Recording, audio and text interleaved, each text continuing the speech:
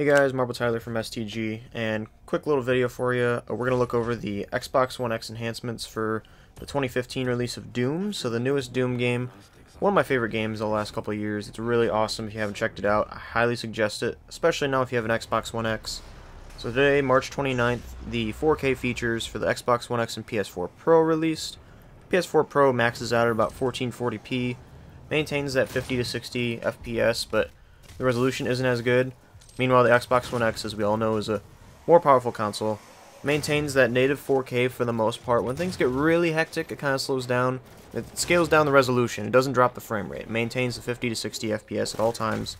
But it will maintain, for the most part, a native 4K resolution. And it looks gorgeous. If you if you played this game a couple years ago, you know it looks good. It's gory, it's brutal, it's awesome. I'm about to say brutal there. And uh, yeah, if you haven't played this game, check it out. It looks beautiful. I'm not. I don't really have much to say except for just watch the screen, watch the gameplay. It's really, really good, and it's very comparable to like Wolfenstein 2, which was also released by uh, Bethesda this past fall. Very relatable and the same uh, same upgraded features. But that's all I got for you. You know, a little short video showing off some of the awesome 4K content from the Xbox One X. Check back to STG. We still have more Far Cry stuff coming out. A couple more Sea of Thieves videos, and we're gonna see what's coming soon.